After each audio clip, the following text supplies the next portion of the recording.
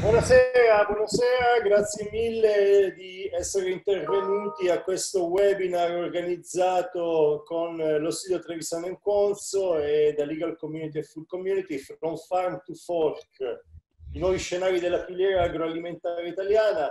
Grazie ovviamente a tutti voi, a tutti i relatori, ma allo studio Trevisano Conso che è il nostro partner Gabriele Conso, a Vincenzo Acquafredda che sono qua collegati con noi. Eh, abbiamo, eh, abbiamo avuto più di 200 registrazioni eh, quindi siamo molto contenti di questo, speriamo di potervi avere tutti con noi fino alla fine. Io adesso per evitare che il numero inizi a scendere lascio subito la parola a Francesca Corradi e vi saluto e vi ringrazio per rivedervi ai nostri webinar. Grazie. Grazie Aldo. Do anch'io il benvenuto a tutte le persone collegate a questo webinar sui nuovi scenari della filiera agroalimentare italiana, dove andremo a parlare di come è cambiata la filiera durante questa emergenza sanitaria e quali sono le nuove prospettive.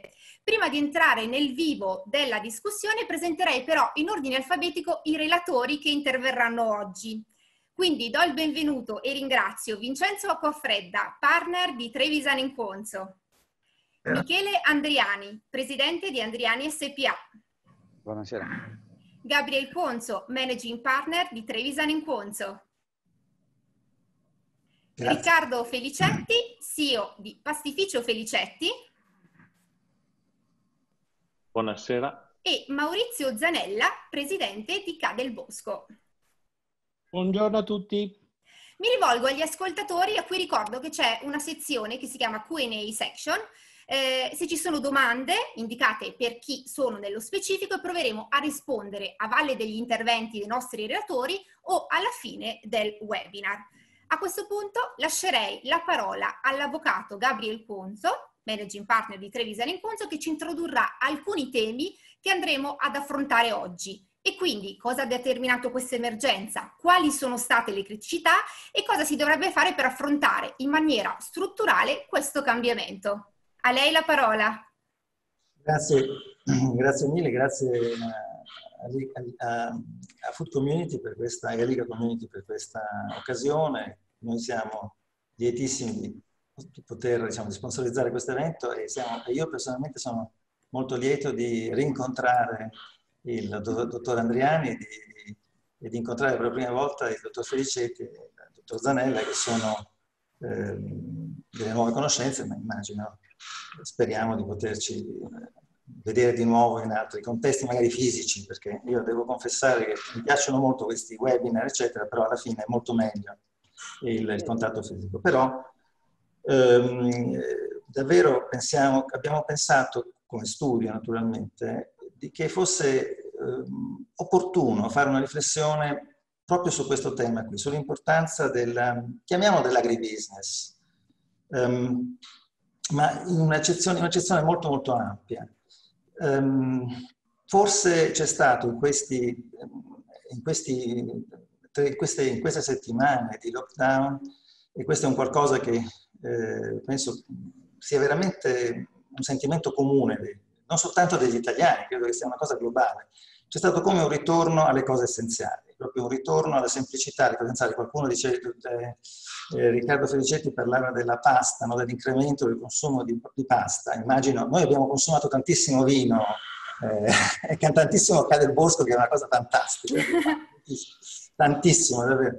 Quindi ehm, c'è stato un ritorno alle cose essenziali, il pane, eh, la pasta, eh, il vino.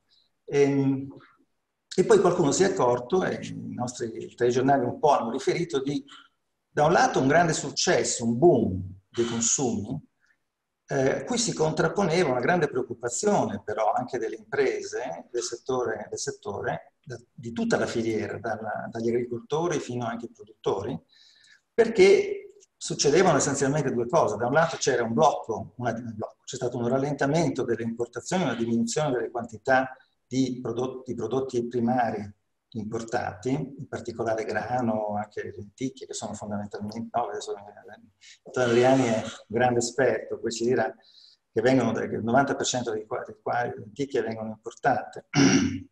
Quindi da un lato il lockdown, il lockdown globale ha provocato un rallentamento delle importazioni, dall'altro e naturalmente non si, è, non si, è, più trovata la forza lavoro perché c'è stato un, un, un blocco, anche un fortissimo rallentamento, ma di fatto un blocco della, della, delle, degli, de, eh, della forza lavoro che è tutta emigrata, quasi tutta emigrata in Italia. E quindi che cosa eh, ci dice questa esperienza? Io sto facendo un discorso economico, non giuridico, e quindi non chiedo scusa delle sciocchezze che potrò dire, ma se facciamo una, una visione così dall'alto, aerea, di questa situazione che si è creata, vediamo che l'Italia ha bisogno di ritornare a pensare all'agricoltura e alle sue attività, alle sue industrie primarie, inclusa quella vinicola naturalmente, in maniera diversa, in maniera diversa da, finora, da, da adesso. Noi abbiamo delle imprese fantastiche eh, che sono caratterizzate da dimensioni ancora forse troppo piccole, e c'è un uso molto interessante anche nel sud Italia, o dovrei dire anche nel sud Italia, e infatti il dottor Adriani è una, un testimone ehm, di questo, ma immagino che parleremo di questo in dettaglio. C'è, c'è bisogno di un, l'industria che abbiamo usa la tecnologia usa la tecnologia ma in maniera molto individuale, cioè sono esperimenti che vengono fatti dalle imprese, a volte anche in cooperazione con eh, istituzioni, per esempio le università, a volte con l'aiuto anche delle regioni, però tutto, sono tutte cose che vengono fatte attraverso una delle iniziative di persone individuali. Dal punto di vista invece di... non c'è una regia, non sembra che ci sia una regia ehm, dello Stato, per esempio, del, del, del Ministero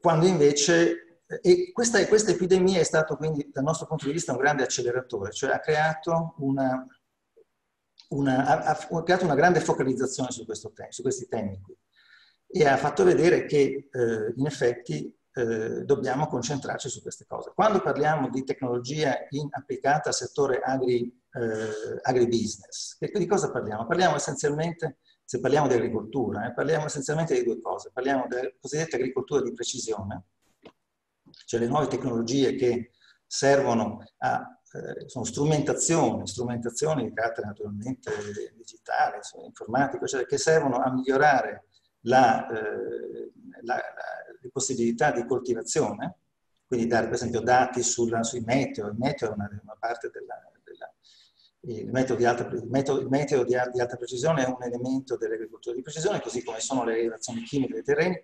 Questo da una parte c'è l'agricoltura di precisione, dall'altra c'è il grande tema delle varietà vegetali, quindi del miglioramento delle, delle, specie vegetali, che può essere ottenuto in maniera naturale, in maniera biologica, senza, senza, senza eh, alterazioni che sono state criticate nel passato.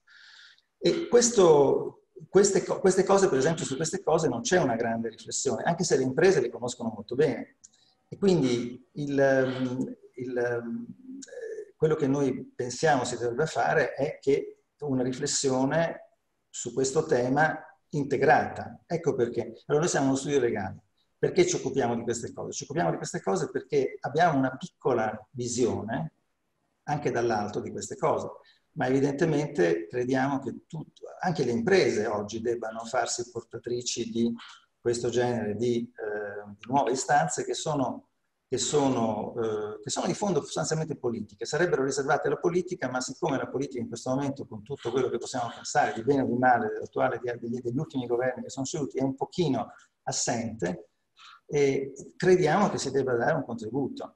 E quindi questo è un pochino il quadro nostro. Naturalmente quando parliamo di agricoltura di precisione, parliamo di tecnologia, ci sono un sacco di questioni di carattere giuridico e infatti il mio socio Vincenzo Cofreda, che di fatto è la, è la persona che all'interno dello studio si occupa di queste cose, che le, le ha lanciate, le, le sta sviluppando, ci parlerà poi a suo tempo delle, degli aspetti diciamo così, più tecnico-giuridici e non soltanto economici. Ma il quadro di riferimento, il motivo per cui noi ci occupiamo di queste cose, abbiamo deciso di sponsorizzare questa questa bella iniziativa è proprio questa necessità che noi sentiamo anche dei cittadini di eh, dire, aprire una, una riflessione eh, interdisciplinare e eh, anche con le imprese, anche con la società civile e anche con la politica, perché no, su questi temi che sono essenzialmente temi di politica economica. Io direi che queste sono le cose che volevo dire eh, e quindi lascio volentieri la parola a chi molto più competente di me potrà dire qualcosa di utile. Grazie mille. Bene, ringraziamo l'Avvocato Conso e direi dopo questa preziosa introduzione al tema chiederei a Michele Andriani, eh, presidente appunto di Andriani SPA, come ha vissuto il lockdown eh, da, sia da imprenditore no? alla guida appunto di un'azienda che ricordiamo essere appunto specializzati in quelli che sono i prodotti premium naturalmente gluten free e prevalentemente bio e, ehm, e anche un commento generale sulla, sulla filiera agroalimentare eh, rispetto appunto a come si è comportata.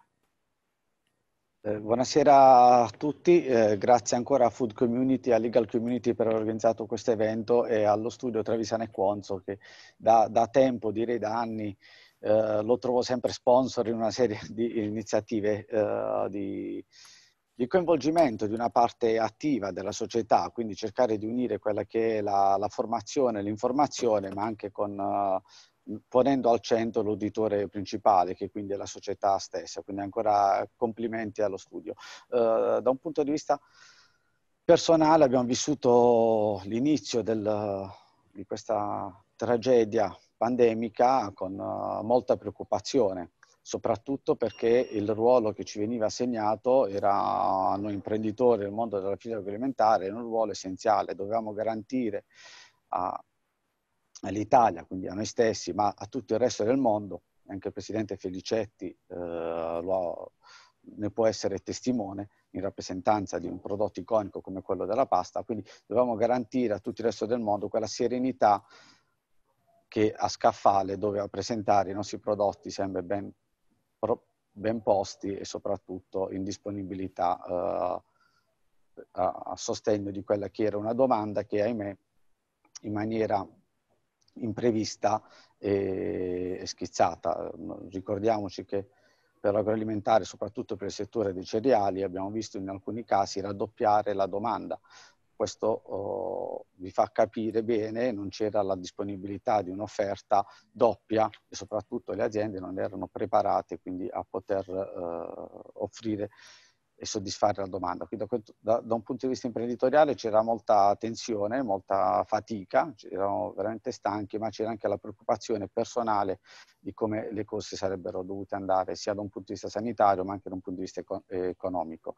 Abbiamo vissuto con molta serietà invece anche eh, la fase della, che riguarda nostra, il nostro impegno principale, quindi quello di fare filiera. Eh, personalmente ho riscoperto il valore di confrontarvi con il consumatore, quindi abbiamo letto con molta più umiltà eh, quelle che erano le richieste del consumatore, le vere esigenze, cogliendo uh, appunto da, da, nel nostro paese l'esigenza di, del consumatore che ormai è sempre più confermata anche dai dati eh, di avere prodotti a scaffale completamente made in Italy. Pertanto la responsabilità nostri, de, imprenditoriale eh, nel, anche della nostra azienda è stata quella di confrontarsi con questa, con questa richiesta e cercare di capire come soddisfarla. All'interno della filiera agroalimentare ricordiamoci che c'è una parte importantissima che è la parte agronomica, quindi la parte della produzione primaria. Abbiamo dovuto uh, accelerare quello che era un percorso delle nostre aziende, quindi di cercare di approvvigionarsi sempre di più di un prodotto italiano, quindi ascoltando quello che era l'esigenza del consumatore e all'interno di questi mesi, eh, tra l'altro di lockdown e smart working, abbiamo eh, consapevolmente e ripeto con molta serietà affrontato il tema, cercando di non fare false promesse al consumatore, perché dobbiamo eh, assumere un ruolo di, di promotore a volte di, di, alcune tendenze, ma dobbiamo allo stesso tempo cercare di promettere quello che possiamo mantenere. Nel caso di, vi faccio un esempio, parlando di, di, legumi, così come benissimo anticipava prima il professor Ponzo, eh, l'Italia, ad esempio, parliamo della lenticchia, un legume abbastanza noto a tutti quanti, l'Italia consuma 44.000 eh, 44 tonnellate di lenticchia, ne produce solamente 6 quindi siamo oh, all'incirca al 10% del fabbisogno. A livello globale si producono 4 milioni e mezzo di lenticchie e i paesi esportatori, India, Australia, Canada, hanno iniziato ad aumentare i loro consumi interni facendo sì che gli stock, quindi quella disponibilità di materia prima che dovrebbe essere uh, messa a disposizione degli italiani, venisse meno. Tant'è che l'India quest'anno è diventata consumatrice di legumi anch'essa, quindi uh, è importatrice di legumi anch'essa. Questo vi fa capire che non ci sarà disponibilità di questo prodotto molto probabilmente nei prossimi anni. E qui chiaramente la necessità di dover cercare di iniziare a sensibilizzare la parte agricola, in questo imprenditore agricolo che ha eh, con sé la responsabilità oggi di dare una mano all'industria, ai processatori e al driver finale, quindi al distributore, di unire domande e offerta in maniera da creare una sorta di comunità locale di consumo in questo caso tra l'altro anche consapevole, perché le proteine vegetali fanno parte di un consumo più consapevole. Però poi tutto questo non è facile, bisogna essere al centro di un processo molto complesso, fatto con serietà e così come presumo venga, debba uh, essere affrontato oggi, ci sono anche gli strumenti di corretta comunicazione e uh, di trasparenza nei confronti del consumatore. Bene, durante il lockdown la nostra azienda ha accelerato questo percorso, ha capito che il ruolo è ancora più importante rispetto a quello di prima abbiamo eh, in maniera virtuosa iniziato dei processi interni di formazione in maniera tale da farci trovare pronti e all'altezza del, del ruolo non appena questo possa essere, si renda eh, necessario. Ottimo, Ottimo, una, un'ottima sintesi diciamo di, di, che cosa, di, che cosa, è successo. Ringraziamo il dottor Andriani e passiamo nello specifico alla filiera della pasta con ehm, Riccardo Felicetti a cui chiederei non solo un commento in qualità di CEO del pastificio Felicetti, ma anche come presidente dei pastai italiani di Unione Italiana Food. E ehm, a Felicetti domando cosa è successo in queste settimane, cosa è cambiato, c'è qualcuno che ha speculato, quali sono state le vostre scelte?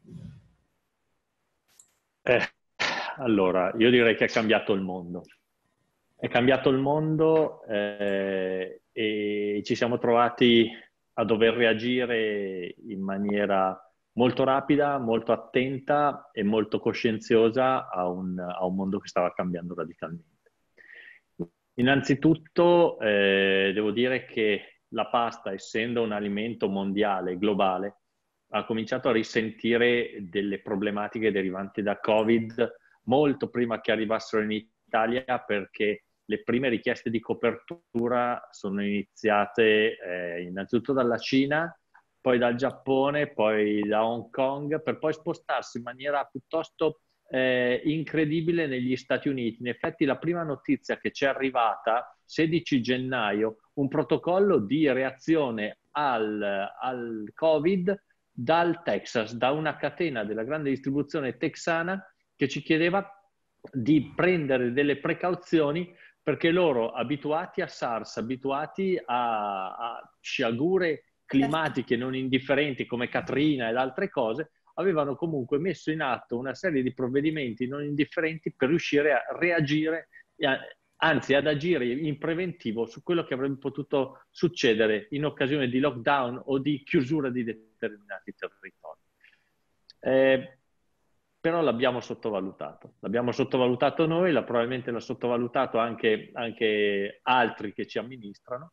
Fatto sta che dal 23 di, di, febbraio in avanti, invece, in maniera molto seria e responsabile, abbiamo cominciato ad operare per fare in modo di, di non trovarci impreparati.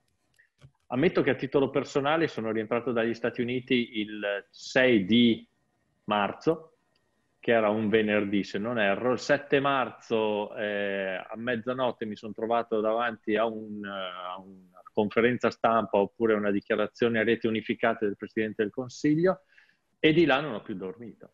Perché è chiaro che quando ti senti responsabile di un'attività eh, importante per la pace sociale, ti senti responsabile di un nucleo familiare molto, molto grande per quanto riguarda la nostra comunità che è di 5.000 anime e hai 100 famiglie eh, che operano all'interno della tua filiera, non riesci a capire dalle, dalle, notizie che ti sono arrivate se la mattina dopo avresti potuto com- continuare a lavorare, chi fa parte della tua filiera, se i tuoi trasportatori continueranno a lavorare, se il 70% del tuo mercato, che è il mercato mondiale, parlo di Felicetti, ma se il 55% del mercato della pasta potrà continuare ad essere rifornito, se le materie prime in arrivo continueranno a poter arrivare, oppure se i tuoi fornitori decideranno di non toccare il suolo italiano perché potrebbero rimanere bloccati loro, le navi, i camion, eccetera, eh, da 14 giorni di quarantena. Insomma, abbiamo viaggiato a tutta velocità,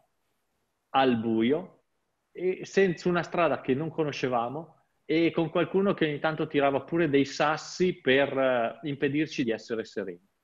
Serenità che deriva da tanti fattori. Serenità era quella di mettere in sicurezza la filiera eh, di consegna. La pasta sicuramente è un prodotto fortunato perché buona parte della materia prima, il 70% viene dall'Italia, buona parte era già stoccata, però pensate che stiamo andando verso una congiunzione agricola col nuovo raccolto. Nuovo raccolto che purtroppo non sembra essere fantastico. Altrettanto abbiamo avuto dei problemi perché raddoppiando quasi i volumi nel mese di marzo, aprile, maggio e probabilmente aumentando anche giugno, eh, ci troveremo a non riuscire ad andare in congiunzione, per cui andremo sul mercato. Ci sono dei fenomeni di ritenzione di mercato, c'è chi li chiama speculazione, ma forse è un po' troppo banale come termine, però un po' di ritenzione sul mercato per veicolarlo e orientarlo da qualche parte, quello sì, c'è stato. Eh, di questo ne, ci siamo preoccupati in tanti, di questo ci sono preoccupati non soltanto le associazioni di categoria della filiera, per cui partendo dagli agricoltori arrivando fino a, a Centromarca, ma eh, anche eh, a livello ministeriale c'è stata qualche preoccupazione proprio per cercare di limitare al massimo questi fenomeni di ritenzione. Detto questo, eh, siamo stati fortunati. Siamo stati fortunati perché siamo riusciti a livello di aziende a costruire delle barriere di protezione attorno alle imprese che hanno consentito a tutte le filiere di rimanere attive e operative. Qualcuno ha ridotto la produzione, qualcuno invece ha mantenuto eh, in atto la produzione, altri hanno addirittura acceso degli impianti che eh, erano in quel momento non in funzione. Per cui devo dire che la reazione della mia categoria è stata estremamente virtuosa, molto responsabile e speriamo continui ancora anche nel prossimo futuro perché non siamo ancora fuori di sicuro, se non dalla crisi medica, di sicuro non da questa, dalla pandemia mentale che ha portato molto spesso a reazioni isteriche, in, un po' in Italia, poco, ma molto di più all'estero. Bene, grazie dottor Felicetti di questo interessante quadro eh, sul appunto, settore della, della pasta che, che rappresenta. Eh, procederei con Maurizio Zanella, presidente di Cadelbosco, a cui chiedo di raccontarci come ha reagito a questa crisi il mondo vitivinicolo e in particolare l'azienda Cadelbosco. Buongiorno, innanzitutto mi scuso perché qui si vede la mia origine contadina perché sono l'unico senza cravatta e me ne scuso. Eh, ma ehm, come ha reagito? Il mondo vitivinicolo si divide, a mio, modo, a mio modesto parere, in due grandi famiglie, quello del vino commodity e quello del vino nobile. Sul vino commodity non ne parlo perché non ho la minima esperienza, essendo contadino, anche se contadino evoluto, eh, conosco più il settore del vino nobile che ha fondamentali completamente diversi dai vini che hanno un utilizzo quotidiano e banale, non banale come consumo, perché hanno la loro logica e la loro eh, realtà di esistenza e, e, e, ce ne mancherebbe, ma è un mercato completamente diverso. Il vino nobile è quello legato al territorio ed è quello con la filiera molto corta dove spesso il contadino produce l'uva, la trasforma e la commercializza, quindi a filiera normalmente molto breve per mantenere degli standard estremamente elevati. E il vino è stato questa seconda famiglia è stato pesantemente penalizzato per il semplice motivo che i, le vendite sono sviluppate per più del 50% nell'Oreca e quindi essendo l'Oreca chiusa in tutto il mondo e non una scelta, come dire, volontaria, ma una scelta obbligata, ci siamo trovati con, eh, a seconda delle varie tipologie di aziende, dal 60 al 90% di senza clienti.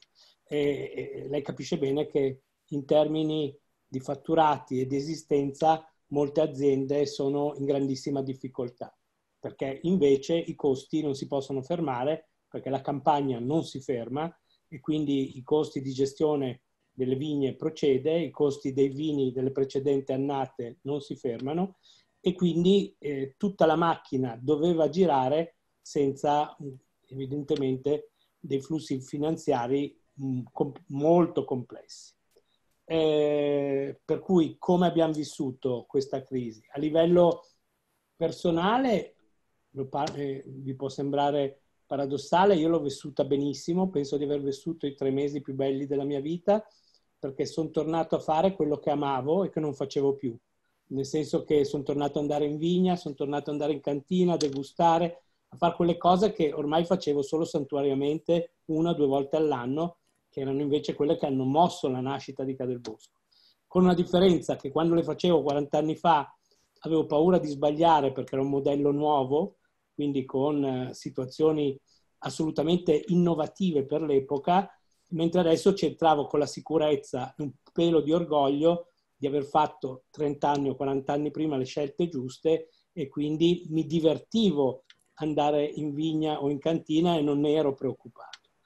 Sul mercato invece, come dicevamo prima, grandissime difficoltà perché Cadel Bosco forse è una delle aziende più esposte e ne è felice, ne è orgogliosa sull'oreca e meno sulle vendite ad asporto. E quindi siamo, abbiamo avuto dei cali nel, abbastanza importanti. Stimo che se andrà bene chiuderemo il 2020 con minimo fra il 28 e il 35% di fatturati inferiori, eh, ma bisogna, bisogna tenere i nervi saldi. Credo che le crisi passano, ma i valori restano. Cioè non vogliamo assolutamente cambiare rotta. Abbiamo visto molte aziende eh, fare cose diverse, innovarsi a livello commerciale, fare cose che non erano abituate a fare e credo che si facciano degli errori quando si cerca di recuperare eh, in maniera senza esperienza in canali nuovi. Quindi penso che la coerenza nel nostro mondo vincerà, la calma vincerà e essere coerenti ai propri valori sarà fondamentale. Eh, dallo Stato ci aspettiamo poco perché abbiamo visto, e non ne faccio un discorso politico ma di efficienza, eh, sull'agricoltura veramente molta impreparazione, eh, molta eh, superficialità. Non parliamo sull'oreca. L'oreca, secondo me, è stato il settore bistrattato in maniera vergognosa, perché quando tutti dicevano e pronosticavano l'apertura di 2 giugno, sabato scorso a mezzanotte è stato detto a questa categoria che lunedì aprivano senza regole, per cui una cosa vergognosa lo Stato italiano non si è reso conto che nel nostro paese il turismo, l'enogastronomia sono un fattore forse non importante a livello di PIL, ma fondamentale sul turismo, fondamentale perché il secondo motivo per cui uno straniero visita l'Italia è questo. E per farvi un esempio che tutti voi ben conoscete, abbiamo stanziato 2 miliardi su questo settore contro i 18 della Francia. Eh, la dice già lunga questo, eh, e la ristorazione è grave, veramente in grave pericolo e quindi sono, siamo molto preoccupati perché il problema non è finito con la riapertura di lunedì scorso, ma credo eh, durerà qualche mese per ridare un equilibrio, una serenità a un settore che per noi è fondamentale. Eh, in cantina, nei vigneti, come vi dicevo, abbiamo continuato a lavorare, eh, dobbiamo aspettare, abbiamo fatto delle iniziative per cercare di agevolare chi faceva, si è tirato sulle mani, che faceva la sport, il take away, abbiamo fatto un'applicazione per trovare i, i punti che facevano vicino a casa dell'utente, i punti ovviamente che avevano Casa del Bosco che davano un servizio, ma più di questo non abbiamo potuto fare se non, eh, come dire, sperare che questa ripresa sia gestita un pelo meglio dalle istituzioni e che dia alla, all'Oreca dei segnali diversi da quelli che ha dato finora. Bene, bene, grazie. E, um, concluderei diciamo, questo primo giro di interventi con uh, Vincenzo Acquafredda, partner di Trevisani Inconzo. E, avvocato, quali sono i punti di forza e le criticità che sono emerse durante questo lockdown? E poi come sono cambiati, ad esempio, gli equilibri eh, e i rapporti tra agricoltura e grande distribuzione organizzata. Grazie Francesca, grazie ancora a Legal Community a Food Community per l'invito e l'organizzazione di questo, di questo uh, webinar. E ovviamente grazie anche agli altri partecipanti che ci onorano della loro presenza. Eh, il nostro punto di vista, il nostro punto di vista eh, è il punto di vista di chi in realtà in questo periodo eh, lungo, travagliato di lockdown ha seguito gli imprenditori del, del, dell'agroalimentare. Eh, è un punto di vista che sostanzialmente mh, porta a condividere tutto quello che già mh, abbiamo sentito ehm, e mi porta personalmente a fare qualche considerazione in più, evidenziando che eh, diciamo, questo lockdown, mh, soprattutto nell'ambito dell'agroalimentare, possiamo dire ha avuto un vero e proprio eh, effetto di accelerazione, cioè immediatamente sono diventati eh, cogenti, sono diventati urgenti degli obiettivi che mh, fino all'altro ieri, in buona sostanza, erano obiettivi di medio-lungo periodo, erano soltanto obiettivi programmatici. Um, diceva il dottor Felicetti che è cambiato il mondo, uh, certo è cambiato il mondo nel senso che sono cambiati uh, gli acquisti, sono cambiate proprio le abitudini dei consumatori. Eh, ed è proprio questo il punto di partenza, il punto di partenza che ci deve far capire diciamo, quali sono i problemi e sostanzialmente come li possiamo affrontare. Perché essendo cambiati i consumi, essendo cambiate le abitudini di acquisto, mh, sostanzialmente sono diventati mh, importanti mh, diciamo, eh, i, rapporti, i rapporti tra la grande distribuzione e eh, la eh, filiera produttiva, in buona sostanza. Uh, perché sono cambiate le dinamiche, sono cambiati un po' i modelli, se posso dire. Uh, la grande distribuzione adesso eh, e auspicabilmente sempre di più deve concentrarsi più sulla qualità che sulle politiche di prezzo.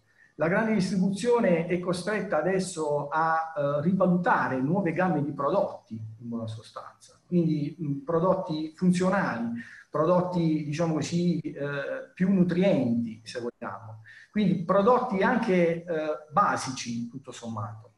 Um, questo è un primo effetto. Uh, un altro effetto importante uh, che abbiamo riscontrato è stato sicuramente quello relativo alla uh, assoluta, immediata, repentina rivalutazione, direi, dei nuovi modelli e canali di distribuzione. Eh, faccio riferimento all'e-commerce che stando agli ultimi dati Nielsen eh, è letteralmente schizzato eh, al 40% e con picchi fino al 200%. Faccio riferimento anche alle nuove dinamiche, diciamo così, distributive, al food delivery eh, e il caso di Glovo che tutti conoscono che sostanzialmente diciamo, è un'azienda leader nel food delivery, addirittura ha fatto più 300%. Con riferimento al, all'e-commerce, eh, un po', eh, ed è quello che dicevo, eh, diciamo, è, una, mm, è, una, è, un canale di vendita, eh, è una modalità di vendita che sì, la, la, conoscevamo, però adesso è diventata indispensabile in buona sostanza. Sono stato personalmente attratto eh, dal caso, perché lo reputo interessante, di eh, Longino e Cardinal. Longino e Cardinal è una SPA quotata in borsa nel 2018, il loro claim bello accattivante, eh, cibi rari e preziosi, sostanzialmente loro fanno oreca, loro distribuiscono eh, cibi rari e preziosi agli chef stellati ad un certo punto, uh, con lockdown, uh, Cardinal, um, Longino e Cardinal sostanzialmente è stata costretta ad una serrata immediata.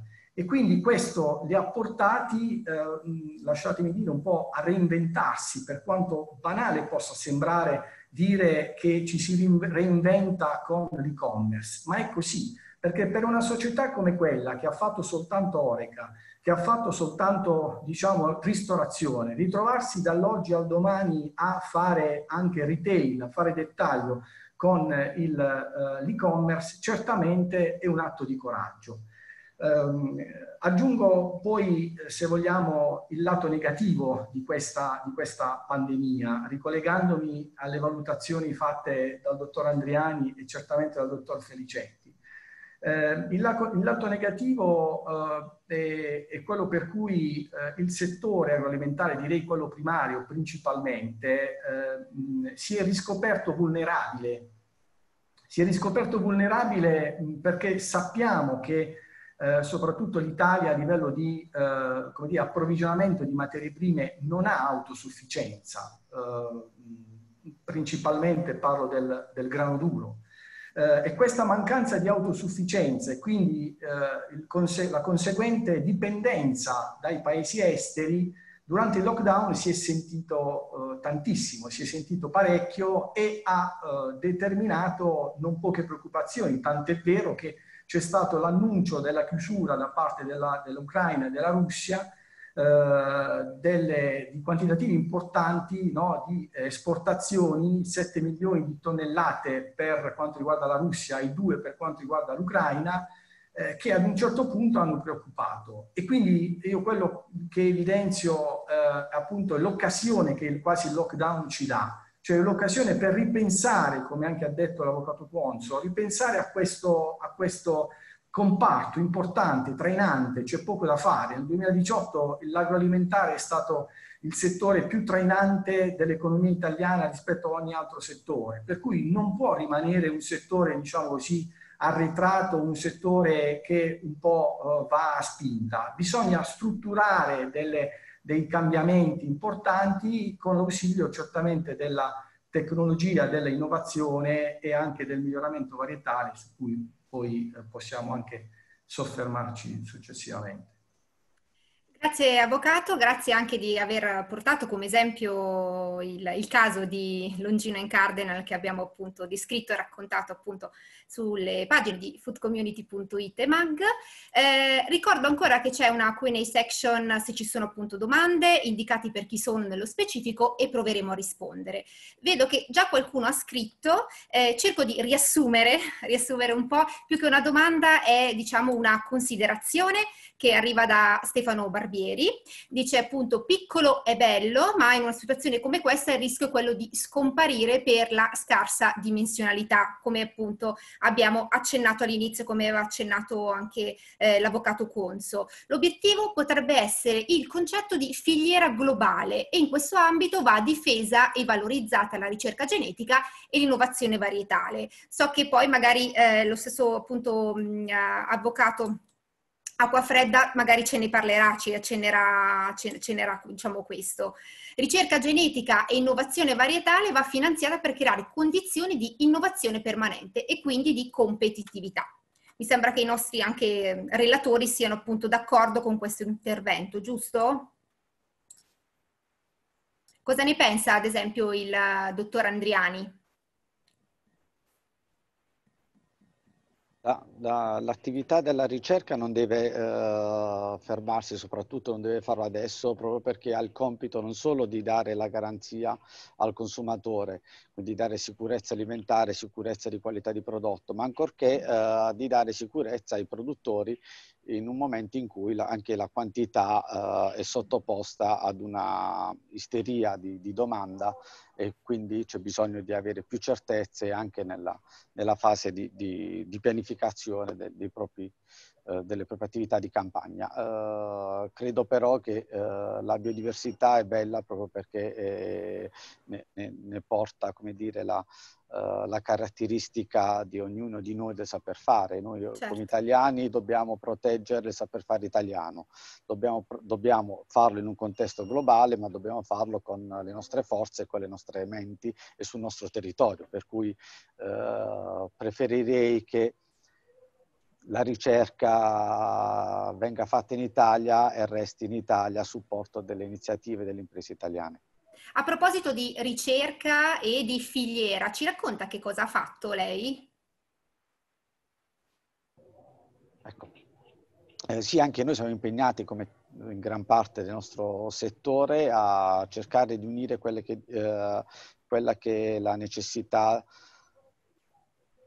tra qualità e quantità, quindi per poter uh, promettere al consumatore un prodotto migliore a, de- a, delle condizioni migliori, evidentemente stiamo cercando di farlo oh, attraverso l'uso delle filiere agroalimentari. Abbiamo quest'anno uh, appena concluso e a breve ci saranno i raccolti, abbiamo concluso una filiera più grande di legumi in Italia con oltre 5.000 ettari di, di piantagioni di legumi in un'unica filiera, cioè su, con un unico capo filiera e ci accingiamo a breve a poterlo fare anche sulle altre materie prime dell'Andriani che l'Andriani utilizza, quindi mais, riso, grano saraceno. Addirittura abbiamo iniziato nel mese di febbraio, eravamo in Etiopia per una filiera di TEF che la zona più vocata è appunto okay. Eh, la, quella zona dell'Africa, per cui l'obiettivo della nostra azienda è quella di poter soddisfare i, i fabbisogni di materia prima utilizzando esclusivamente prodotti di filiera. Per non confondere anche eh, l'ascoltatore, filiera non vuol dire fare, eh, fermarsi al contratto di coltivazione, quindi andare a, a contrattualizzare con la parte agricola la disponibilità uh, della materia prima. Fare filiera significa appunto unire quelle che sono le esigenze del consumatore con quella che è la capacità del mondo agricolo. Il ruolo della, dell'azienda, della nostra azienda, così come quella di tutti i processatori, quella, è quello di, di poterlo fare in maniera coordinare in maniera virtuosa in modo da, da esaltare quelle le capacità appunto dei, dei nostri prodotti di, di esprimersi eh, al meglio una volta che il consumatore li sceglie. Eh, ovvio che eh, la parte scientifica è la parte più, più importante di, della, di, questa iniziativa, è vero è che molto spesso, così come abbiamo fatto noi, lo si fa in... Uh, in condivisione con uh, la ricerca universitaria. Noi abbiamo fatto uno spin-off dell'Università della Cattolica, uno spin-off Orta, che ci segue appunto per quelle che sono le scelte agrotecniche, quindi creano questi algoritmi agronomici che portano i, suggeri- i giusti suggerimenti in campagna in maniera tale da permettere anche all'agricoltore di veder eh, migliorare la qualità della propria azienda. Concludo dicendo che bisogna fare questo cercando anche di dare uno sguardo sempre di più a quella che è la consapevolezza del, del consumo, quindi eh, produrre in maniera più sostenibile acquistare sul mercato in maniera più sostenibile portare sulla tavola degli italiani per primi e poi anche dell'estero prodotti più sostenibili. Lei ha parlato di, di, estero e di innovazione. C'è giusto una domanda a riguardo. Quanto l'export e le nuove tecnologie possono aiutare l'agroalimentare in questa situazione? Le nuove tecnologie vanno, vanno, vanno suddivise per, appunto per attività all'interno della filiera. Ci sono delle, delle, tec- delle tecnologie innovative anche in ambito agro, agronomico, lo, lo, lo, accennava prima Zanella, il presidente Zanella, e, e oggi sono, o, o, la tecnologia più importante a cui anche il mondo del processo sta guardando, cioè, c'è la capacità di fare agricoltura di precisione e eh, è appunto supportata da una forte innovazione tecnologica. Poi ci sono, c'è la tecnologia del, di processo, è ovvio che dobbiamo guardare anche a un, un consumo che sta cambiando, è cambiato in questi mesi, seppur la farina eh, è stato uno dei prodotti più consumati, ma è pur vero che bisogna portare sulla tavola dei, uh, dei consumatori prodotti a valore aggiunto tecnologico, quindi prodotti che al loro interno hanno hanno una, un'adeguata dose di tecnologia e di innovazione. Eh, per far questo, chiaramente la, la nostra società cerca di, eh, cerca di investire in, uh, anche in menti giovani, più creative, in, uh, anche cercando di dare una, un, un'attenzione, di, di, portare un'attenzione particolare anche a quelli che sono le, i risultati della ricerca e del mondo scientifico, per cui un'azienda di processo di un prodotto tra l'altro abbastanza tradizionale come quello della pasta, che però sempre più assume un ruolo importante anche nelle fasi di innovazione. L'estero ci aspetta con, con, entu- aspetta con entusiasmo uh, durante le fiere di vedere esposti i nostri prodotti, perché l'Italia, il Presidente Felicetti lo potrà dire, molto spesso viene fregiata di, e torna con, con, dei premi internazionali anche in ambito di innovazione di prodotto. Anche molto importanti. Anche molto importanti, speriamo di poterlo continuare a fare, ne sono convinto che riusciremo a farlo. Assolutamente. Ha citato il dottor Felicetti a cui io farei la domanda che ci arriva appunto dal pubblico, da Michele Conti, eh, eh, le, delle considerazioni sul decreto legge rilancio in ambito agroalimentare. Quali occasioni si sono perse? Io credo, io credo che mh, ci siano nel mondo della nella filiera del grano duro, perché altre filiere non le conosco molto bene, però nella filiera del grano duro ci siano eh, poche cose che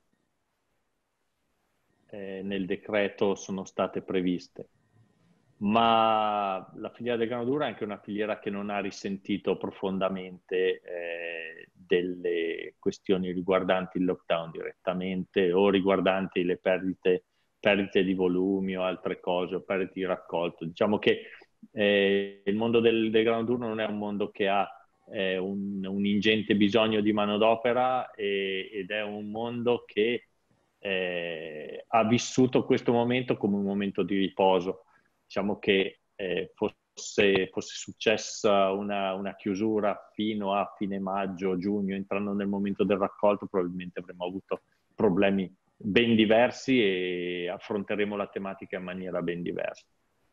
Devo dire che prima, leggendo, sul, leggendo le domande, eh, mi, eh, si chiedeva eh, quali potevano essere le, le problematiche riguardanti eh, o come poteva aiutare degli standard qualitativi il, il, un aumento della conoscenza, della qualità, eccetera, dei prodotti italiani all'estero, del Made in Italia all'estero. Io per fare un esempio vorrei raccontare rapidamente che nel 1967 per cui qualche, qualche, anno fa. Qualche decennio fa.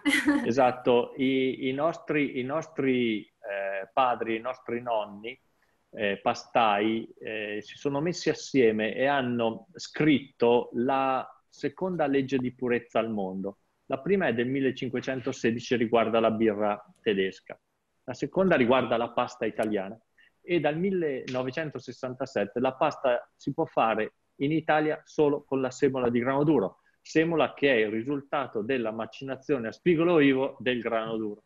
Questo cosa vuol dire? Vuol dire che prima la pasta si poteva fare di qualsiasi cosa si volesse e si poteva chiamare pasta nel 67 soltanto la pasta fatta con un prodotto fatto di grano duro. Ha sparigliato il mondo, perché tutto il resto del mondo faceva la pasta di grano tenero, faceva la pasta eh, con delle tecnologie diverse, noi abbiamo insegnato a fare la pasta al mondo, abbiamo insegnato che la pasta riusciva a tenere la cottura. Un giorno ci siamo anche accorti che la pasta non teneva la cottura soltanto attraverso le proteine e l'indice eh, glutinico del, del, grano duro, ma anche attraverso corret- un corretto utilizzo della tecnologia, tecnologia che dava la possibilità di avere più tenuta di cottura e di conseguenza più fruizione, non soltanto in Italia, ma a quei miliardi di eh, popolo di cittadini al mondo che adorano la cucina italiana. Ecco, tutto ciò insegna come il giusto abbinamento tra una scelta politica, una scelta agronomica, una scelta tecnologica possono davvero portare la eh, cultura italiana ad essere internazionale, ad essere fruibile in tutto il mondo. La pasta, da questo punto di vista, credo che sia uno dei prodotti più venduti all'estero, ha più del 56% di export e fa da locomotrice a quello che è il primo, primo, piatto, di, primo piatto all'italiana. Per cui, oltre alla pasta, quelli che sono tutti i condimenti, i sughi, l'olio d'oliva, il formaggio da grattugiarci sopra, insomma, c'è un mondo che eh, segue la pasta e noi siamo chiaramente molto coscienti e molto responsabili di questa che è una delle caratteristiche che riguarda la pasta in Italia e all'estero. Elettra Gaspari, eh, che appunto ci sta seguendo, chiede quale sia la visione dei panelist sulla guerra delle etichette fra Italia e Francia. Vuole commentare lei? Eh, allora, noi la vediamo come, come, una sorta di protezionismo, come ne abbiamo visti tanti negli ultimi, negli ultimi decenni in giro per il mondo. Devo dire che eh, l'etichettatura eh, può essere vista in maniera diversa, c'era l'etichettatura a semaforo degli UK, c'erano altre etichettature, ci sono le etichettature che prevedono che il parmigiano reggiano dovesse essere considerato uno dei prodotti più devastanti dal punto di vista nutrizionale al mondo, così come la pasta, se si considerano i carboidrati zuccheri non semplici ma complessi come quelli del grano duro o della pasta, eh, non andavano più bene. Eh, ci sarà tanto da lavorare a livello, a livello europeo e a livello comunitario per fare in modo che queste distorsioni dal punto di vista normativo tra, tra le varie eh, nazioni vengano omogeneizzate cercando di difendere anche in maniera coerente e riguardo all'utilizzo che se ne fa i prodotti italiani. Perché, insomma, non siamo noi a dirlo, ma sono più o meno 50 anni che la dieta, la dieta mediterranea viene considerata eh, una delle migliori al mondo e da qualche anno è diventata anche patrimonio dell'umanità, per cui non è che dobbiamo dirlo. Grazie, grazie dottor Felicetti. Io passerei al dottor Zanella e vorrei ritornare un pochino a, ehm, a quella che è la, la filiera appunto vitivinicola. Eh, lei appunto mi diceva quando ci siamo sentiti che eh, purtroppo per il vino il trimestre diciamo un pochino più negativo sarà è, è comunque questo, no? Quello, il secondo trimestre. Eh, mi commenta questa cosa e mi dice quali saranno poi le vostre strategie per, uh, per, per riprendere in mano il settore e, e ritornare a quelli che sono i primati di produzione valore? Sì, come già dicevo prima, eh, la nostra azienda e tutte le aziende che fanno vini di un certo tipo privilegiano il canale dell'Oreca e quindi hanno subito e subiranno in maniera consistente e pesante il lockdown perché di fatto si sono trovati 60-50% dei clienti chiusi, non che si arrabattavano, qualcuno ha iniziato a fare asporto e delivery, ma sono cose estremamente marginali e chi era in distribuzione nei canali tradizionali eh, non ha risentito molto. C'è stata una crescita, come mi è stato detto da chi mi ha preceduto, nella e-commerce. Noi personalmente abbiamo raddoppiato, ma raddoppiare il 2% non risolve certo i problemi. Eh, e quindi mh, i canali innovativi. Non c'è una strategia perché noi dobbiamo solo aspettare senza fare quelle mosse di cui accennavo prima sbagliate, eh, innovandosi, cambiando canali, eh, che possono sgretolare delle consuetudini mh, che è bene non sgretolare, che è bene conservare, perché sono quelle che hanno determinato il successo di molti brand e cambiare queste logiche a volte è pericoloso. Ho visto fare da alcune aziende in questi mesi delle cose, secondo me, abbastanza approssimative, perché penso che la coerenza alla fine paghi sempre, soprattutto se si hanno dei valori importanti da rispettare.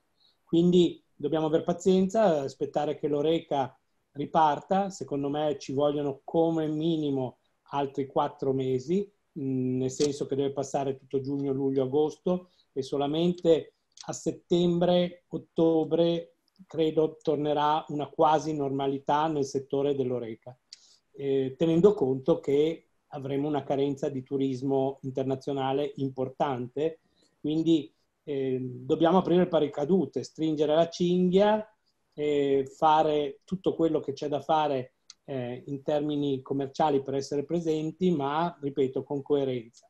Sul lato produttivo, anche qui non si può derogare, quindi eh, bisogna andare avanti con la stessa mentalità.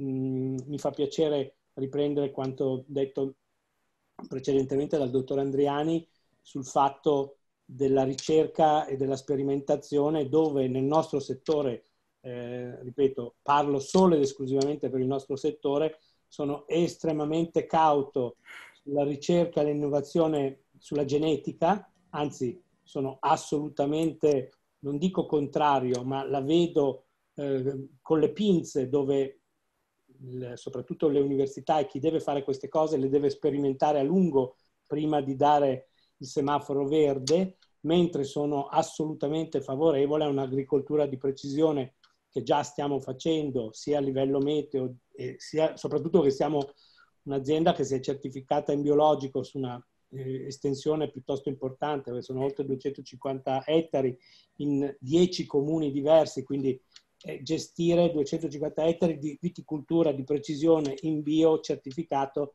non è uno scherzo e, e ci ha portato a innovare, vi faccio un esempio di innovazione che penso sia l'unica al mondo, a tal punto da dover lavare l'uva prima del processo di spremitura perché i residui di rame eh, che c'erano sulla, sulle bucce, se non pioveva, erano un fattore negativo in termini aromatici durante la fermentazione. Per cui paradossalmente il bio ci ha portato dei problemi nel processo produttivo, perché prima eh, i prodotti chimici che andavano sulla foglia eh, venivano fotosintetizzati e non c'erano i residui che un prodotto naturale invece dà sul grappolo. Per cui c'è tutto un discorso di eh, bio per evidentemente la sostenibilità e l'ambiente e tutto quello che è facilmente comprensibile, per cui il futuro non può che essere lì, ma dall'altra parte nella fase di processo bisogna innovare ed ecco perché sono assolutamente d'accordo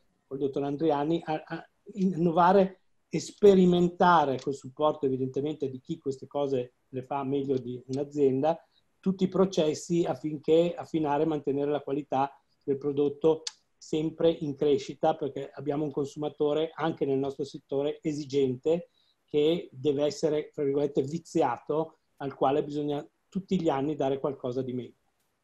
Mi fa piacere che ha parlato della, della spa dell'uva, di cui abbiamo parlato del, della, nel, nell'articolo. Eh sì, dopo, dopo l'intervista eh, sono, sono, preparata, spero presto di, tra l'altro di venirla a trovare. E mh, mm, mi piaceva poi eh, raccontare anche quello che mi ha detto sulle mh, mm, bollicine e, mh, mm, e anche sul, sul, consumo delle bollicine. Ehm, che eh, ovviamente sono almeno finora, sempre state comunque ehm, ritenute ehm, adatte per quelle che sono, diciamo, le grandi occasioni. Eh, cambierà qualche cosa?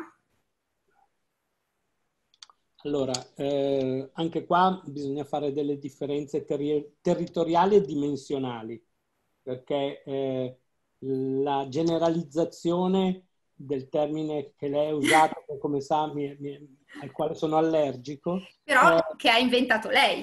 Sì, purtroppo sì, ho questo primato, eh, ma così come l'ho inventato ne ho preso le distanze perché abbiamo, eh, lo dico per gli, le altre persone che ci ascoltano, eh, Franciacorta ha avuto la capacità a livello comunitario di equipararsi a un'altra denominazione francese a voi nota che ha solo 250 anni di storia più della nostra. Di cui non facciamo il nome. Ovviamente, eh, per la quale c'è il divieto di riportare in etichetta il fatto che sia un vin mousseux. E la stessa cosa ha ottenuto eh, il Franciacorta nel 1995, per cui in termini legali per la legge europea non è uno spumante. E non essendo uno spumante per legge europea, avevamo difficoltà a raccontare nel 1995 cos'era questa cosa e per cui abbiamo inventato, ahimè, il termine bollicine che è diventato un termine modaiolo abbondantemente usato in questi ultimi termini a discapito delle denominazioni. Per tutti i vini importante è più la denominazione che non la metodologia produttiva e quindi è per questo che bollicine mi irrita. Scusatemi, lo dico in termini evidentemente comici. Io l'ho fatto, appo- l'ho fatto, apposta per provocarla. No, ma pur avendolo inventato. Detto ciò, eh, in una denominazione come la Franciacorta mh, eravamo riusciti e siamo riusciti a sdoganare il fatto che l'80% dei consumi fossero fatte negli ultimi due mesi, come avviene per la denominazione di cui abbiamo parlato prima estera e eh, per, le, per, i prodotti tipo lasti, per farci capire che sono bottiglie celebrative e in Franciacorta eravamo riusciti a portare i consumi dove negli ultimi due mesi dell'anno si faceva solo il 30% e non l'80%. Quindi a destagionalizzare il consumo per, perché è diventato un prodotto da consumo quasi ricorrente e non più. Quanto è vero, secondo me, il fatto che comunque in un periodo come questo eh, c'è meno voglia quando si apre una bottiglia di aprire una bottiglia di quella tipologia rispetto a una di vino bianco e vino rosso, perché quella bottiglia è comunque usata in maniera conviviale, di gioia, di convivialità e non certo dentro i muri di casa eh, con un consumo direi di consuetudine. Quindi sicuramente questa tipologia di vino credo non avrà, eh, non gioverà in questo periodo di, di, Covid di incrementi, nemmeno di perdite, ma nemmeno di incrementi. Penso che siano più destinati ai, ai vini tradizionali. Perfetto, grazie. Grazie a voi. E io concluderei questo secondo giro di, di domande con l'avvocato Acquafredda. E vorrei sapere un po' quali sono le strategie, prima abbiamo parlato di filiera, eccetera. Eh, a lei la parola. Grazie.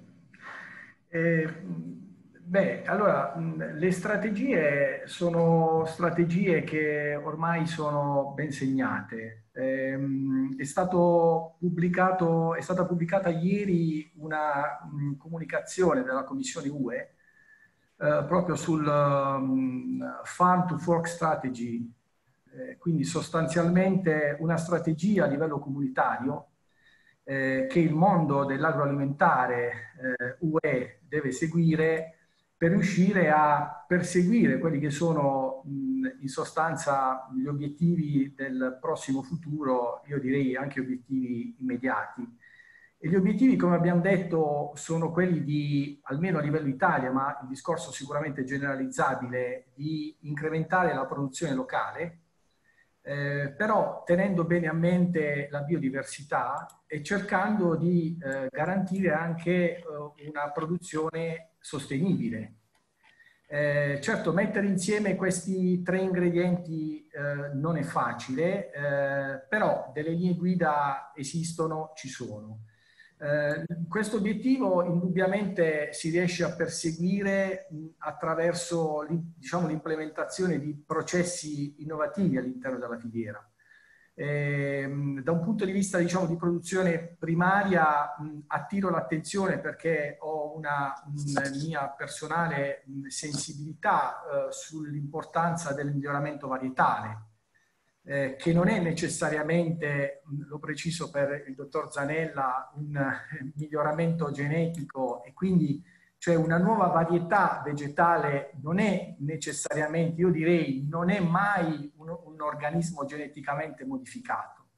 Eh, le nuove varietà vegetali, mh, così come sono disciplinate a livello normativo italiano, ma anche eh, europeo, eh, in realtà possono dare mh, grandi chance di crescita anche per i prodotti tradizionali, in buona sostanza, perché un prodotto tradizionale DOP IGP eh, naturalmente durante diciamo così, la sua vita normale potrebbe anche subire delle variazioni, mutazioni no, di natura genetica a livello naturale.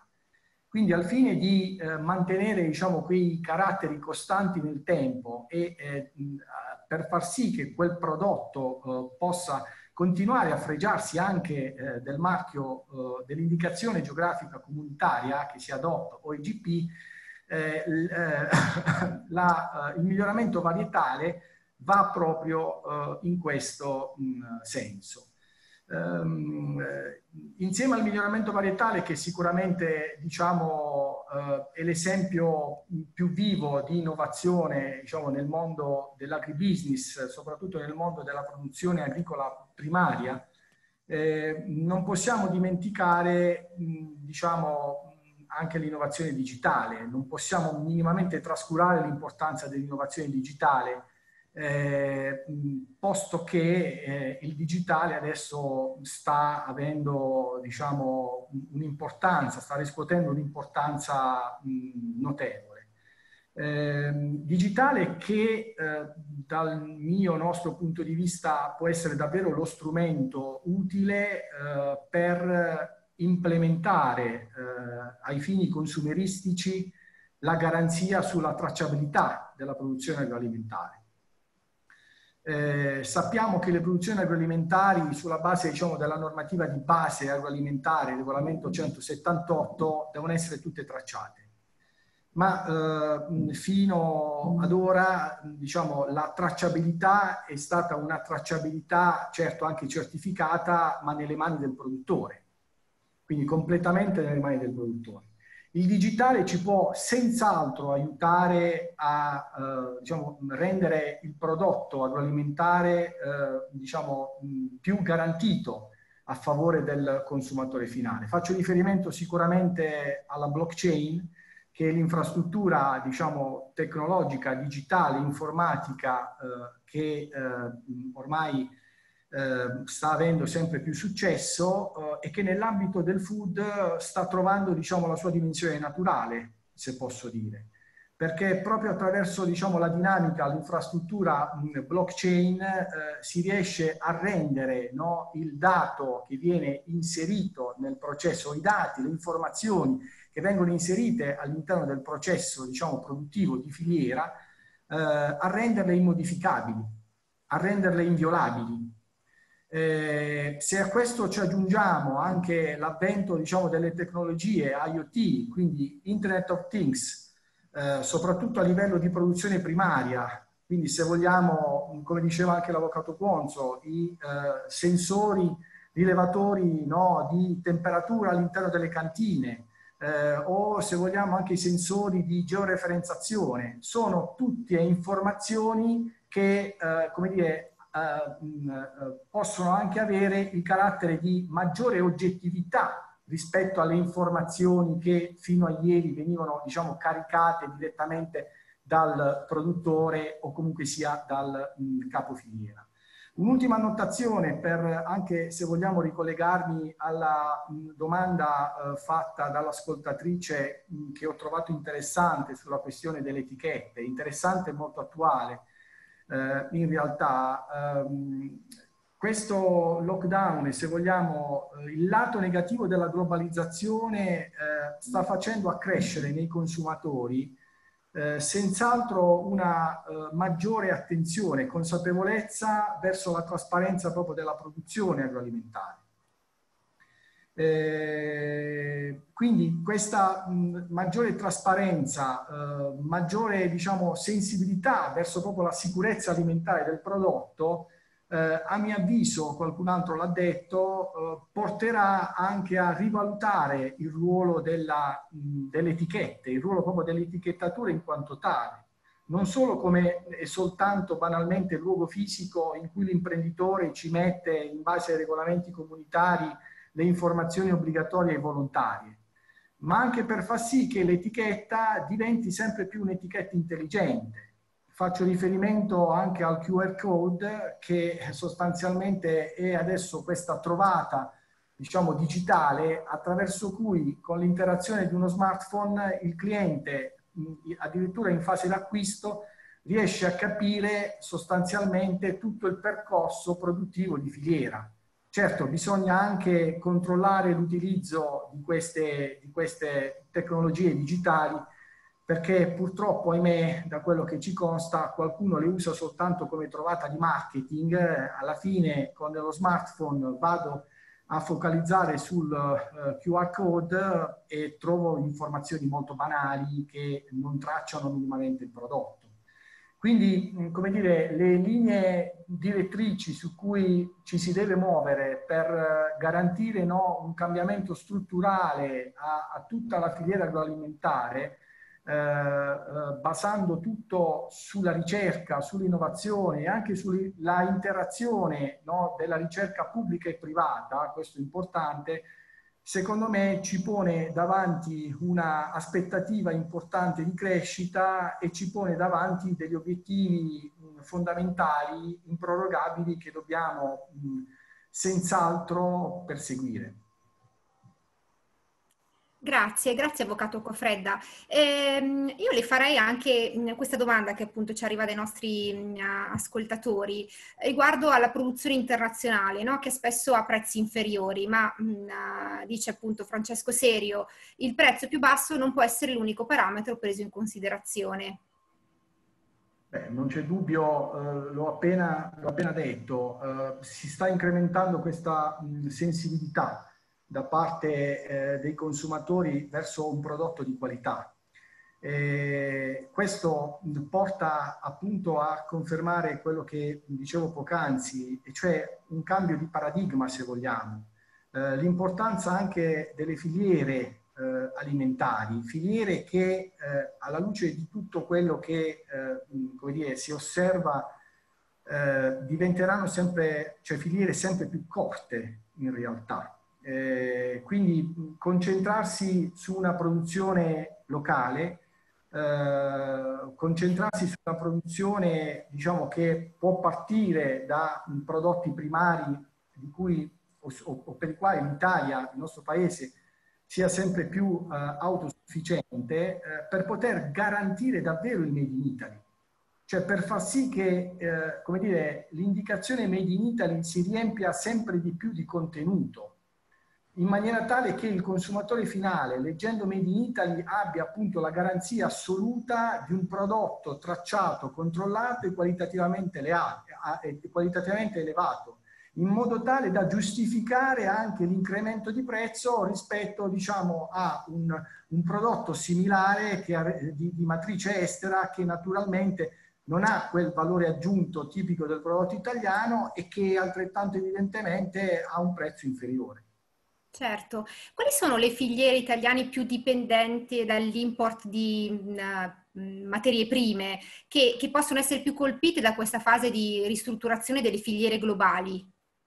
Beh, la filiera uh, dire, più, più, vulnerabile è sicuramente la filiera, la filiera del grano Uh, stando ai dati ufficiali, se consideriamo che l'industria pastaia italiana uh, ha un fabbisogno annuo di grano di 6 milioni di tonnellate, quando in realtà l'Italia ne produce 4 milioni, eh, beh, il gap è un gap che in realtà spiega, spiega tante cose.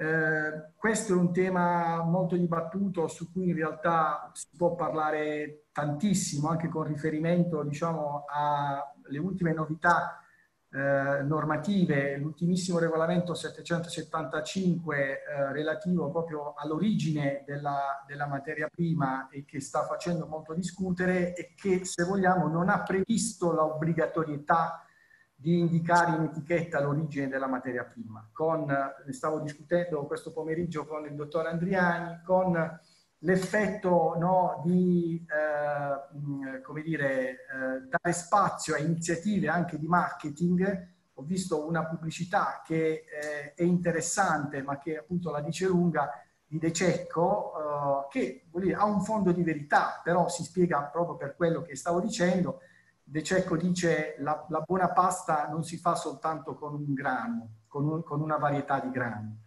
Quindi per eh, dire, legittimare il fatto che eh, l'Italia o l'industria pastaia italiana ha necessità di importare. Eh, quindi non dobbiamo dire, trincerarci dietro le difficoltà, dobbiamo affrontare le difficoltà, capire che l'Italia può fare tantissimo, eh, voglio dire, ha una cultura agroalimentare non indifferente, eh, abbiamo gli strumenti tecnologici, abbiamo la scienza, come dire, anche dalla, dalla nostra parte, ecco il miglioramento varietale, le nuove varietà vegetali servono proprio per incrementare la produttività eh, ehm, diciamo così, di una produzione agroalimentare eh, anche eh, considerando, diciamo così, risorse che più passa il tempo e più sono risorse, diciamo, che scarseggiano, come per esempio il suolo, in buona sostanza. Quindi con le, le, la ricerca varietale eh, si riesce o si riuscirebbe a, ad andare incontro a queste esigenze. Leggevo appunto di una, di una ricerca fatta dalla Cina, eh, dove ovviamente il riso si mangia come il pane, hanno mh, brevettato, mh, perché le nuove varietà vegetali come dire, sono brevettabili, una nuova varietà di riso che addirittura mh, ha una uh, uh, produzione di due volte superiore alla produzione, diciamo così, normale di qualunque altra varietà vegetale, certo. qualunque altra varietà di riso. Quindi questo proprio per andare incontro alle, alle, prossime esigenze, ai prossimi obiettivi 2050, ecco l'agenda, l'agenda uh, Green Deal europea, eh, nel 2050 si aspetta un incremento di, di, popolazione, ci sarà anche un incremento di più 70% di cibo a livello mondiale, bisogna far fronte in qualche maniera. La ricerca, il miglioramento varietale può darci una grossa mano in questo senso. Visto che abbiamo parlato di pasta, eh, chiederei un commento anche al dottor Felicetti. Allora, eh, il, la filiera del, del, grano duro in Italia è una filiera in deficit eh, strutturale. Se pensiamo che eh, all'inizio del secolo scorso, prima della rivoluzione russa, le importazioni italiane erano del 70% dall'estero, perché chiaramente la disorganizzazione eh, del, del, mondo agricolo in Italia era terribile. Eh, e è vero che l'aspetto delle scelte varietali eh, già allora aveva spinto un, uh, un senatore che è eh, oggi famosissimo, il senatore Cappelli, a affidare a un genetista che si chiamava Nazareno Strampelli il compito di trovare un, uh, un grano duro da incroci genetici tra, un, uh, tra una genetica eh, del Maghreb e una genetica italiana che era Saragolla per riuscire ad avere un grano che allettasse meno, cioè si piegasse meno sul suo stelo e che eh, desse delle rese sufficientemente buone per poter migliorare la resa economica e agraria del territorio nazionale, soprattutto del sud Italia. E questo significa che queste ricerche le stiamo facendo da secoli. In realtà però eh, il problema grosso dei pastifici italiani oggi è che stiamo perdendo il focus sulla situazione. Il grano duro italiano è buono, ma non è tutto buonissimo e non è tutto uguale di stagione in stagione. Mentre lo spaghetto deve cucinare 10 minuti, punto. Tutto l'anno, tutti gli anni. Quindi la necessità del pastaio è quella di prendere la cosa meno omogenea del mondo, farla quacervare dai mulini sulla base delle proprie ricette e fare una pasta che sia il meno fless- meno eh, oscillante, mentre nel vino di alta qualità le oscillazioni di stagione in stagione sono considerate delle caratteristiche anche qualitative, non solo tollerate, ma valutate in maniera molto positiva, nella pasta perdere un minuto di cottura o guadagnare un minuto di cottura tende a non essere considerata una cosa di grande, di grande valore. Per questo normalmente la pasta viene fatta con delle miscele che da aree geografiche diverse portano genetiche diverse, con proteine diverse, indici di glutine diverse, per fare un prodotto che ogni pastificio sceglie di fare come vuole per il suo cliente. E in questo caso si usano non soltanto per deficit di volumi, ma anche per deficit qualitativo della materia prima che arriva dall'estero. Ora, ci sono due maniere per migliorare la qualità dell'agricoltura italiana provvederne al suo miglioramento qualitativo con impegno reciproco o denigrare l'agricoltura straniera con l'effetto boomerang di denigrare i prodotti che vengono fatti in Italia con quelle materie prime. Perché qui poi dobbiamo cominciare a parlare, è vero che la 775 ha creato degli, delle aree grigie incredibili, a tal punto che pur di non mettere sul fronte della, della, della confezione che quel grano arriva dal Canada dopo cinque anni di bombardamento criminale contro il grano canadese da parte di sappiamo chi, la gente toglie, toglie le bandiere italiane, toglie qualsiasi tipo di indicazione di, che, di dove è stato fatto quel prodotto, a tal punto che un prodotto degnamente e a tutti gli effetti made in Italy può essere confuso con un prodotto fatto in qualsiasi altra parte del mondo proprio perché noi non siamo stati capaci di difendere la nostra, la nostra produzione. Perché non difendendo la produzione industriale non stiamo difendendo nemmeno la produzione agricola. E questa è una cosa che purtroppo ci è stata imposta da associazioni di categoria alle quali non abbiamo saputo rispondere, anche perché la loro potenza era troppo forte per tutti. A me spiace dirlo, ma abbiamo perso, abbiamo perso. Grazie, dottor Felicetti. Io chiedo um, ai relatori se, se c'è qualcuno che vuole aggiungere comunque qualche cosa.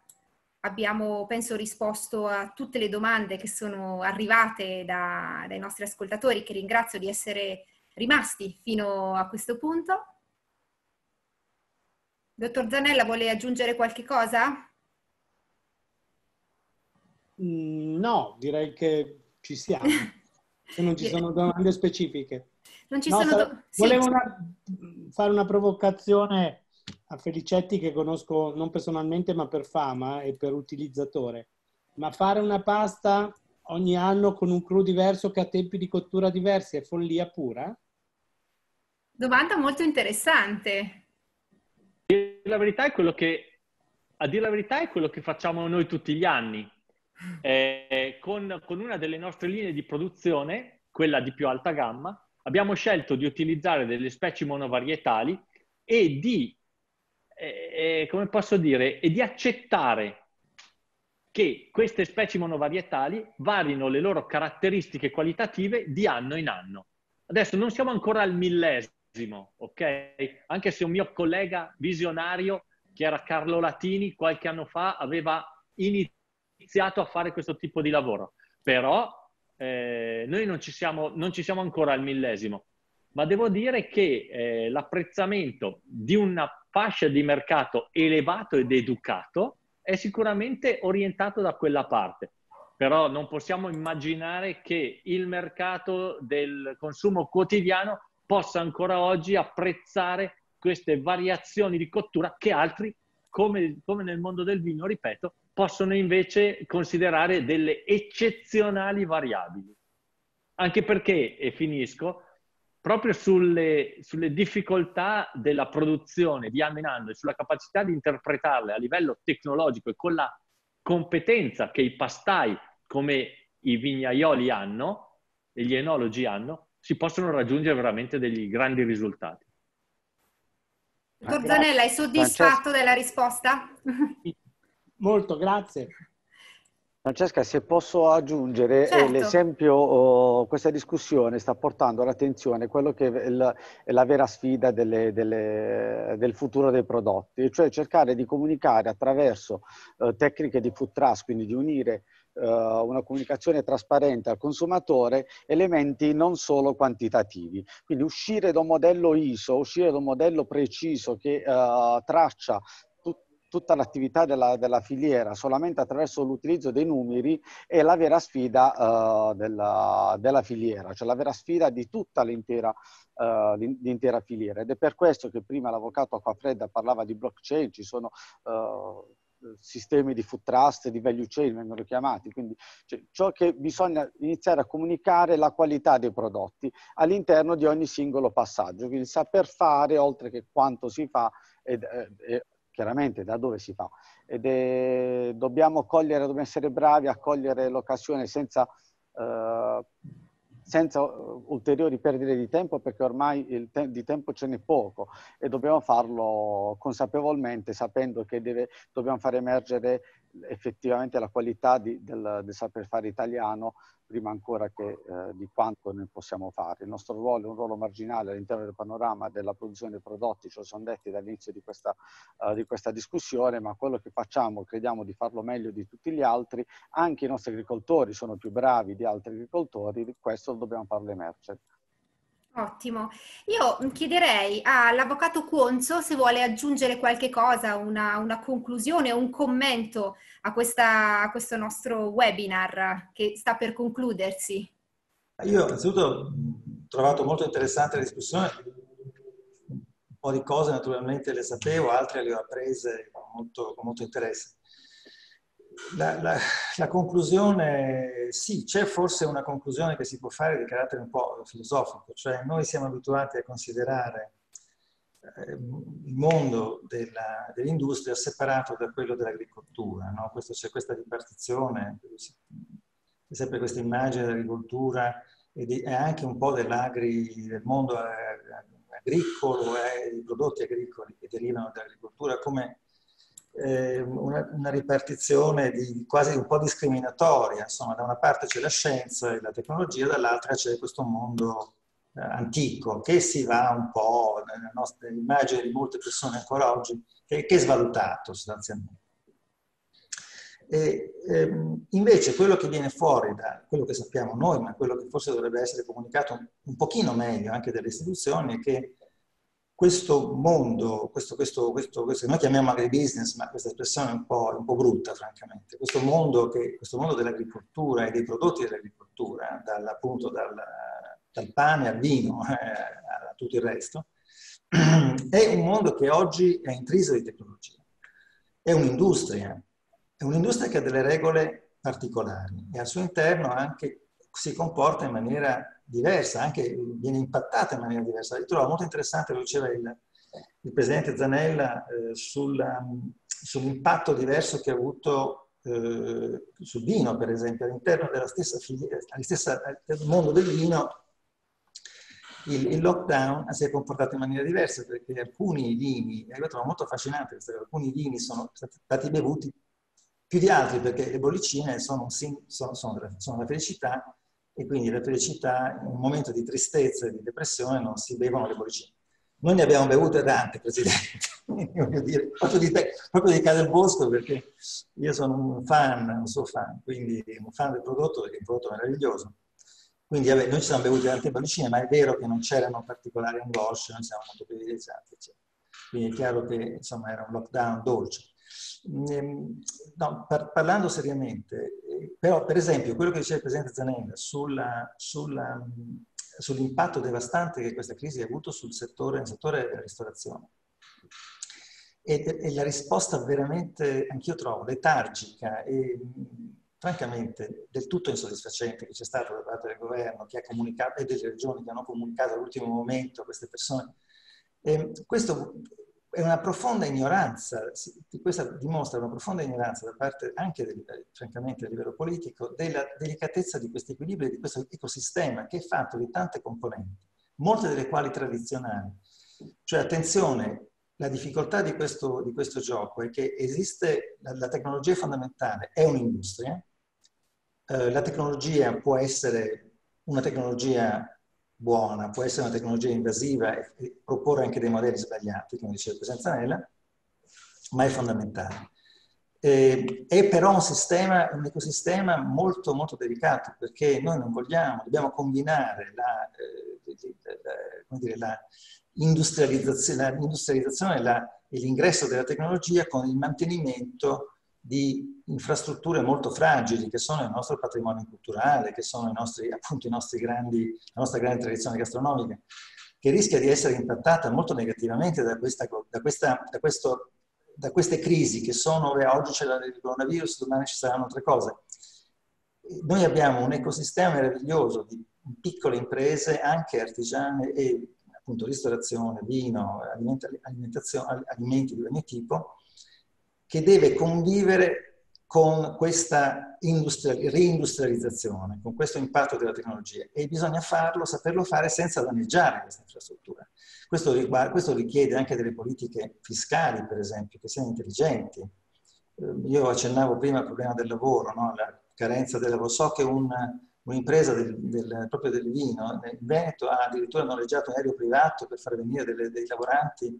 Sì. Eh, quindi, eh, Ora, eh, ci sono tante cose che si dovrebbero fare, pratiche che si dovrebbero fare, e anche sul terreno dell'infrastruttura giuridica, che è, tut, che è, un tutt'uno, perché noi quando parliamo di infrastruttura giuridica, oggi di normazione, quando parliamo di, di proprietà intellettuale, di diritto del lavoro, parliamo dell'infrastruttura dell'economia 4.0.